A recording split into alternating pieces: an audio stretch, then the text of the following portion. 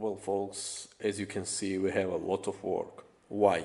Because this cleaver probably was in very wet place for a long time and maybe waiting for me. Also the surface very damaged by rust and deep corrosion. As usual, someone trying to hit it with a hammer on backside of cleaver and if I will going to use angle grinder machine uh, the steel the knife will become very thin and I will lose a lot of metal and it's not good for me. Well, I will try to do my best and I hope you will enjoy.